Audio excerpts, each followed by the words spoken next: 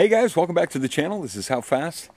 So I've been driving around the GMC uh, for the last week. I've compiled a list of things that we need to take a look at. I did some recording as well, so I'm going to fill you guys in with some of that in a minute. But I want to let you know that we did finally come up with a name for her. Um, Derek and I had a couple of good ideas from some people, but I mean, she's big. She's got hips.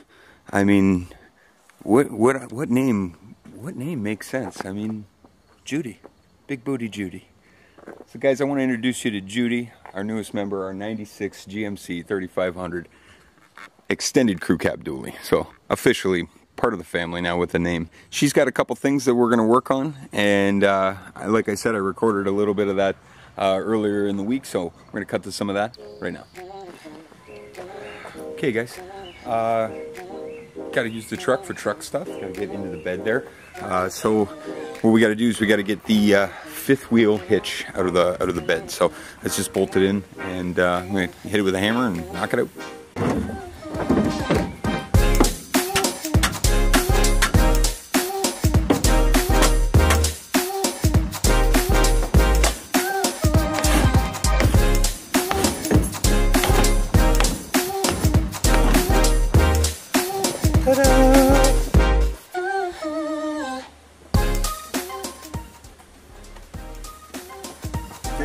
Mess up your back. Don't try this at home. Or if you do, get a friend. But I live in the middle of nowhere, and I don't have a lot of friends.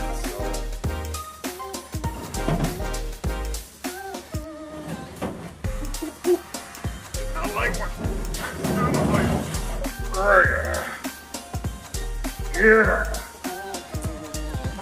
Feel that?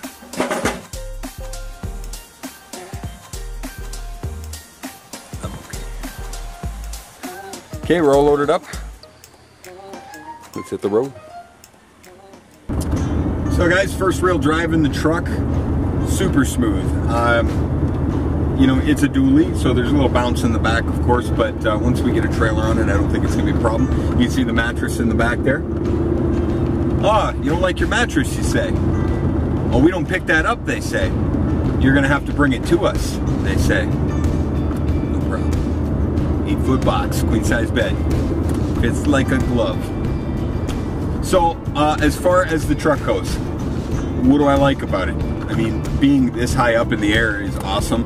Uh, having all that cargo space, all that extra room, amazing. Um, what, what don't I like about it? Um, very, very little. I'll be honest with you, very little. I do really like this truck. There is a couple things, right? First things first. Big truck. It's got a gas engine.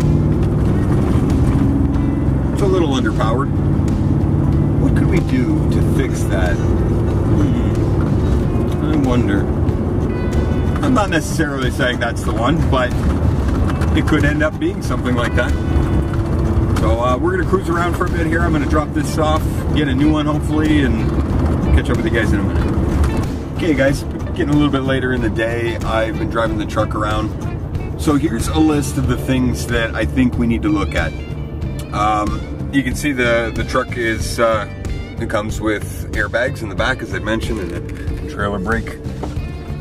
The bags, at least the one on the passenger side, appear to be uh, leaking, or it appears to be leaking, the one on the passenger side. So, um, I'm gonna look at the lines, maybe, I looked down there real briefly at them, the lines look kind of like they're under tension, so maybe they've kind of rubbed through in some spot. So we'll take a look at that. Um, also, I'm getting a sound, like when I pull up next to walls, I'm guessing it's the fuel pump. So we're gonna take a look at the fuel pump, and um, the air conditioning doesn't work. That's something I'd really like to work for uh, for next year, for next summer. So we're gonna uh, we're gonna keep all these uh, on a running list. We'll get to them one at a time. Got the truck back. Was driving around the other day. Um, you know, I started to list a couple things. I thought I should I should do this when we're, we're parked, so I can actually show you guys what we're talking about. So, first thing I'm gonna do, I notice when the car or when the truck starts, um, it, I don't want to say it struggles, but I mean I know it's a big engine, but I feel like this battery is probably probably due for a change. So I picked up a new battery. When I'm driving down the 401 or I'm driving down the highway and I'm doing about uh, buck 10 anything over 2500 RPM, I start to smell oil. Um, and I think I look here, and to me, this looks like I got a leaky valve cover gasket. It seems to be leaking down. You can see the residual oil left on the header. Another thing is when I'm braking or under acceleration around 80 kilometers an hour to 90 kilometers an hour, I get a shake in the front end in the steering wheel. And it's under acceleration, so I'm thinking this thing might have a bad motor mount, perhaps, or maybe a transmission mount. So I'm going to take a look at that. That's not going to be today. Today we're just going to change the battery, but also a couple couple other things we wanted to take a look at. I had mentioned um, that the airbags in the back.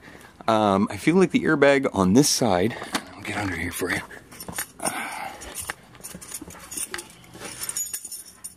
I feel like the airbag on this side here, it won't hold air. And the bag looks like it's in pretty good shape. I don't see it's been rubbing on anything, but I gotta think that maybe one of the lines, which which you can see up here, right here, you see there's, quite a bit of there's quite a bit of tension on this thing. Um, probably too much, uh, to a point where it might be chafing somewhere down the line here. So um, I'm going to source that, figure out where, what's going on with that, and lead that all the way back to the compressor. And, uh, and then I'll just check all the lines all the way through to make sure it looks good. So, uh, you know, something to keep in mind for later. Uh, the other day, you guys saw I took the uh, fifth wheel hitch out of the back. Lots of big space in there now. Okay, so the battery's been replaced. Truck starts much better now.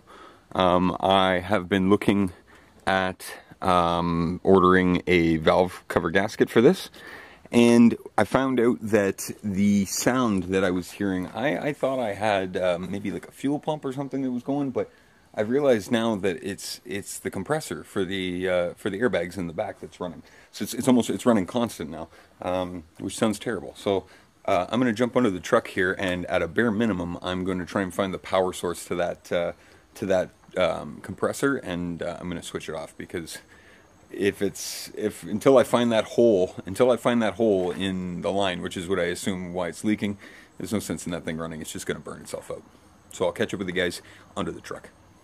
So here's the compressor. Here's the lines that run all the way back. Now I checked all these back here. One of them is suspect. I'm going to unwrap it. It's got some tape around it but everything I see other than that one spot looks pretty good all the way up into the cab. So what I'm going to do is I'm going to turn the truck on. I'm going to get a bottle of soapy water and I'm going to spray down all the lines and see if I see any bubbles. If I don't, I think I'm going to have to pull the dash off and take a look at the the gauges and the valves behind it Okay, sprayed every connection from the back to the front. No leaks that I can see. There's obviously, it's obviously a switch here. This would typically turn on the compressor, but it seems to be running full, like non-stop, and they're not building pressure. I believe each of these are plumbed individually. Um, so they're independent of each other. So the fact that both of them aren't working would lead me to believe that it's at a junction point. But the only junction point for these two is right at the compressor. So I'm going to look back here.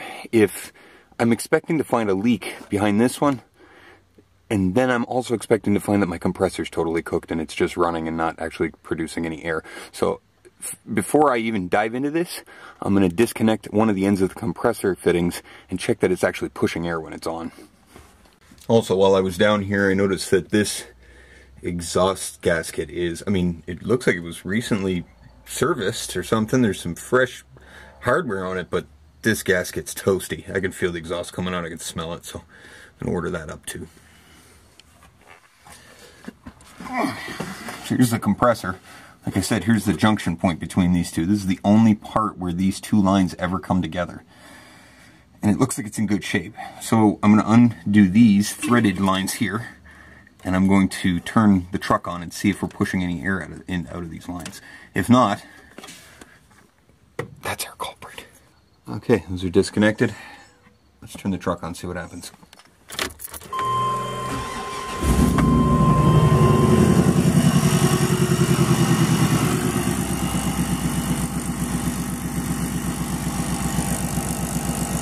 Air coming out of both, that's good news. Okay, so next step in this diagnosis, I'm going to disconnect the white lines coming out of the top here. These go up to the gauges and are essentially purge valves, uh, purge lines. So if I disconnect those, if the bags in the back pump up without the regulation and the purge valves, that tells me that the problem is towards the front of the truck, probably at under the dash. If they don't pump up and that's plugged, that would tell me the problem is to the back. So I'm gonna undo these and then see if the air still comes out and if, if it does, I think I have some more of this tube inside that I can put a cap in and then just plug those up. So see what I can do. Boys, I have some fantastic news here. So I went to pull that top one out and look at this. I don't know if you can see that. Right, right there. It's a little pinhole. Perfect. I mean,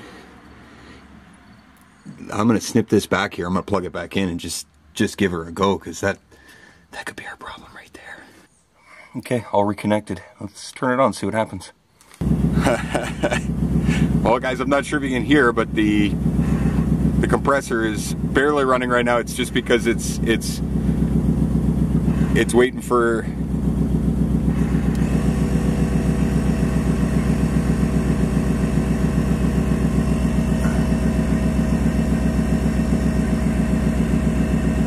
Okay, so here's here's a, there's something interesting. This is kind of how I got the truck, right? The left, the driver's side seems to be pumping up and holding air, but the passenger side goes up to about five pounds, maybe ten pounds, and then it slowly drops. You see it dropping? There is still a leak on that passenger side. Now let's see, will the will the compressor kick on here?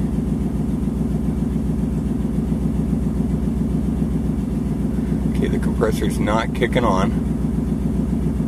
Oh, you know what? Actually, the driver's side's leaking too. It's slower. It's much slower. So there's definitely a leak in the system. It's definitely a leak in the system. Where is it coming from? I'll put money it's coming from behind the dash here. I'm gonna have to get in there and check that out. But hey, man, the compressor's off. Oh, just as I say that. So right now, it's just trying to keep up with the minimum setting here definitely gonna have to figure out what's going on. I think there's a leak back here. Okay guys, going rogue on you right now with the uh, with the cell phone, but I have the dash pulled apart. I took a look at the back there. No leaks there, but here's what I found. I turned on the truck, I pumped up the air, I turned the truck off, and when I get under, that T-junction there is leaking. So I'm just going to stop by the parts store. I'm going to pick up two push lock T valves and I'm going to replace those. And I think we have our problem resolved.